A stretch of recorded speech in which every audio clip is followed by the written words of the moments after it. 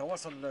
مجهودات مصالح شرطة سيدي بالعباس لمكافحة كل أشكال الجرائم لا سيما منها الجرائم المرتبطة بالمساس بالاقتصاد الوطني حيث تمكنت مصالح أمن دائرة سفيزف من تفكيك جمعية أشرار تورطت في قضية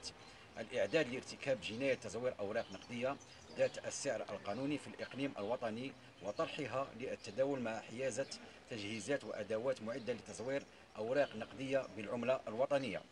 العملية هذه جاءت بناء على معلومات مؤكدة تفيد بوجود شخص يحوز بمسكنه على مبلغ مالي يتشكل من أوراق نقدية من فئة 2000 و1000 دينار جزائري بالعملة الوطنية وأنه بصدد طرحها للتداول بمدينة سفيزف وضواحيها.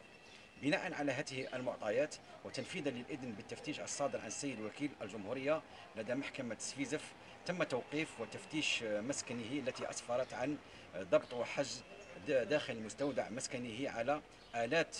طبع وعلب غراء وأدوات قطع وأنابيب بها مادة, مادة سائلة مختلفة الألوان ومكوات لتجفيف الأوراق النقدية من الغراء كما مكنت العملية أفراد الشرطة من توقيف شخصين في حالة تلبس مع صاحب المسكن يقومون بعملية تزوير واستنساخ الأوراق النقدية المزورة بالعملة الوطنية من فئة 2000 دينار جزائري حيث قاموا باستنساخ 102 ورقة نقدية مزورة بقيمة 204 ألاف دينار جزائري. كانوا بصدد تسويقها بمدينة سفيزف وسيدي بالعباس. ضف إلى ذلك قصاصات أخرى مقدرة ب 533 نموذج من ورق أبيض مهيأ ومحضر بنفس حجم ومقاييس شكل أوراق النقدية المزورة أي ما يعادل مبلغ 106 ملايين سنتيم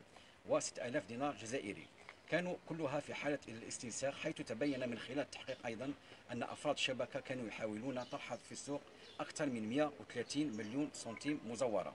إلا أن تدخل أفراد الشرطة في الوقت المناسب مكنهم من ضبط المبلغ المالي المزور المذكور كما مكنت المصلحة من إجهاز من إجهاض العملية ومنعت المجرمين بطرح كل هذه المبلغ المالي. تجدر الإشارة أن أفراد هذه الشبكة خططوا لإغراق السوق بالأوراق النقدية المزورة تزامنا مع اقتراب حلول عيد الأضحى المبارك أين يسهل عليهم ترويج هذه الأوراق النقدية قبل أن تتمكن فطنة وحنكة أفراد الشرطة من إجهاض العملية؟